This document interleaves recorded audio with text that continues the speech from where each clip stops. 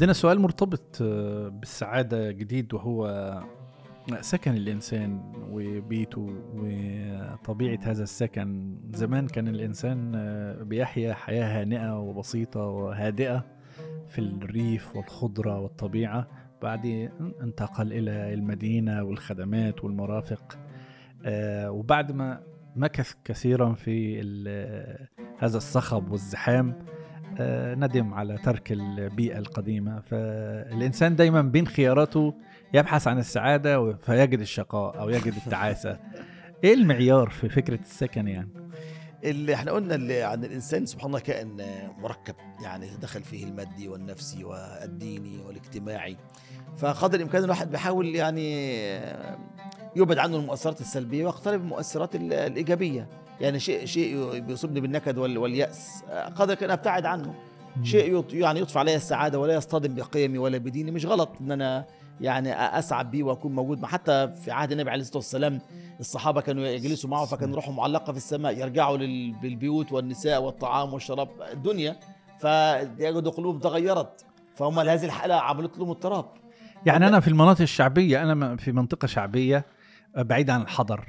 أو في منطقة ريفية بعيدة عن الحضر. دايما بحس بقلة الخدمات وقلة هذا يعني بي- بي- بيقلل جدا معيار السعادة عندي. أنا ما عنديش خدمات زي ال compound زي ما أنت قلت قبل كده زي المدن المتقدمة زي العواصم.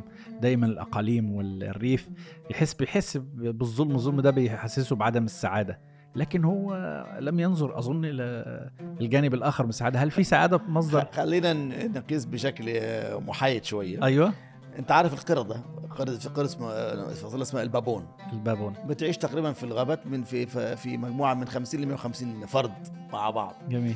وبتكون في الغابات تنتقل بين الأشجار وتأكل رزق يوم بيوم معرضه لكل المخاطر. آه فأحد الباحثين حب يدرس هذا القرد بشكل أساسي. ففي مجموعة من هذه القرد طبعا يعني تم نقلها إلى أحد الحدائق في لندن. جميل. قرد البابون راح حديقة لندن فوجدوا إن هذه القرده في حديقة لندن مصابه بالتعاسة. آه، تلجأ لسلوكيات آه، غ- يعني سلوكيات من آه، غير طبيعية اشتباكات حادة جدا آه، كذا. فكان سؤالهم هل هم كده في الطبيعة زي زي الأقفاص؟ لا وجدوا في خلال ال- ال- رصد باحثه درست هذا القرد مدة ثلاث سنوات في غابات الكونغو. فوجدت إن لا إن ال- القرده في آه نعم تصاب ببعض المشاعر وكذا لكن ليست بالتعاسة اللي موجوده في الأقفاص اللي موجوده في لندن. آه. وجدوا إن الأفيال التي نقلت للحدائق في أوروبا تبدأ يعني تبدأ على الانزعاج لدرجة إنها تبدأ يعني تقطع خرطومها بالحك الدائم في أسوار الحديدية الموجودة في في الأقفاص. وجدوا حتى المشاعر الحميمية مثلا وحيد القرن لا يتكاثر ابدا في في الأسر في سلوك الحيوان في الأسر يعني لا يتكاثر ولا يقبل على الحياة نتيجة إنه إنه إنه مأسور عكس الحالة الطبيعية.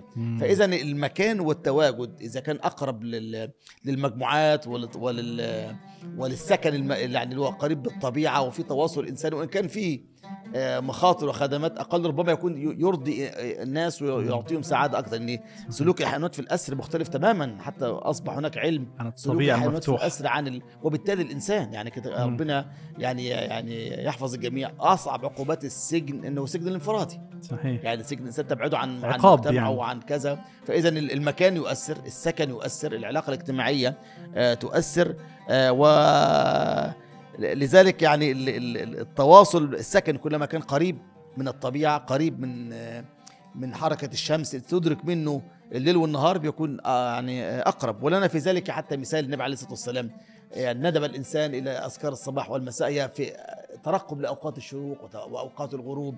النبي لما قال على جبل أحد ذلك جبل يحبنا ونحبه في علاقة بين الإنسان والطبيعة. طبيعة كلما كانت المدخلات فيها طبيعة فيها بشر فيها ناس أنا أعتقد ان أحد اسباب سعادة المجتمعات ما أسميه أنا تداخل الحيوات مم. يعني ما تجد مثلا في الأرياف ال- آه، تربية القطعان ال- الخر- ال- الخر- الخراف والأغنام والإبل مع الإنسان هذا هذا التداخل الح- الحياة يؤدي إلى آه، شيء من الحيويه والسعادة بشكل بشكل كبير